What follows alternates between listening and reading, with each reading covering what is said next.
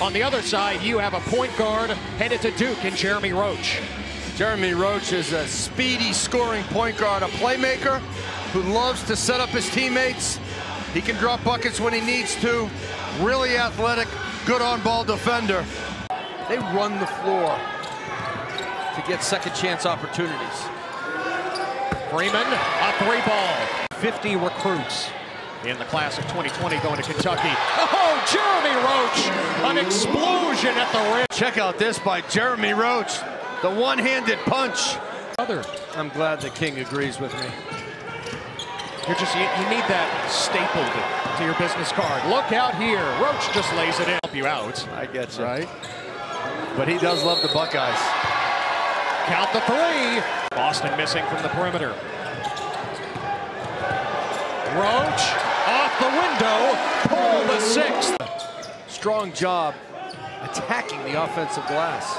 12 for Boston. Open look.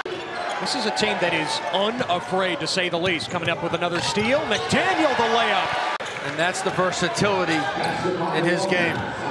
Roach right down the floor. over this summer, but program director Keith Stevens said, nope, I'm not going to risk it.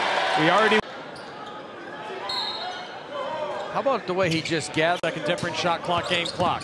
Roach almost lost his balance. May from the corner. That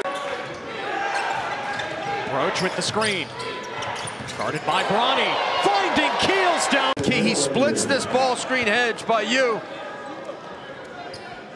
And then he finds his teammate on a back cut. Time to let Roach go to work. Guarded by Boston. Duke and Kentucky facing off. Keels drills the three. That's how Trevor Keels beats you. Look out. Roach. Shot and maybe the knockout punch in this game. Jeremy Roach, as good as it gets. Physicalness and the tools are all there.